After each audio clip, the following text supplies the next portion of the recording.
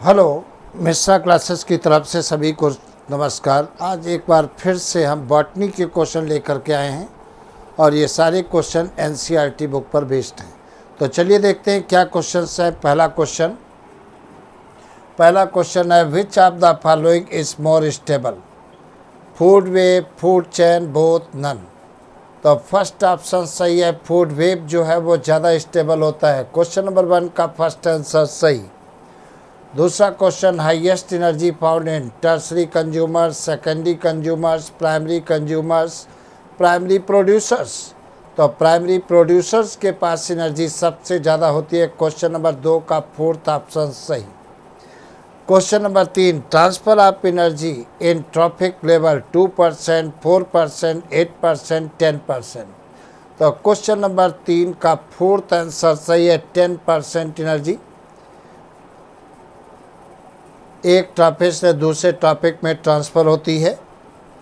Next question number चार how many ecological pyramid usually studies कितनी ecological pyramid generally study की जाती है? तीन।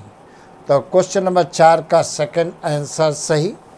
क्वेश्चन नंबर पाँच पिरामिड ऑफ़ एनर्जी इज़ पहला ऑप्शन अपराइट दूसरा ऑलवेज अपराइट तीसरा बोझ चौथा नन ऑलवेज अपराइट होती है तो क्वेश्चन नंबर पाँच का सेकंड आंसर सही।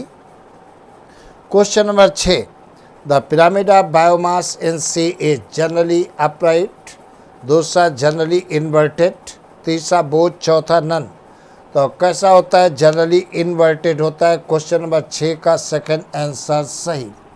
तो ये सारे क्वेश्चन एन बुक पर बेस्ड हैं। अगर आप इन क्वेश्चन की प्रैक्टिस करते हैं तो आपको ये क्वेश्चन ऊंचाइयों तक पहुँचा सकते हैं।